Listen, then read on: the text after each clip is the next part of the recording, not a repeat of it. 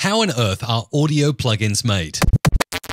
If you're anything like me, you've likely been curious once or twice as to how these beautiful looking plugins are actually created. And if you're also like me, you're probably curious about audio and coding. Well, it's the perfect storm for me to discover a fantastic conference happening close to me called the Audio Developer Conference. It's taking place in London on the 20th and 21st of November, and registration is open now. I'm going to be there covering the conference, doing some vlogging live there, and learning as much as I can as I'm new to this space and I would love to design an audio unit or a VST plugin, but I have no idea where to start. Uh, so this seems like an amazing event. It's organized by JUCE, that's J U C E, and it's got representation from Ableton, Google, Adobe, Microsoft, Native Instruments, Propellerhead, and Waves. So, a very exciting place to be.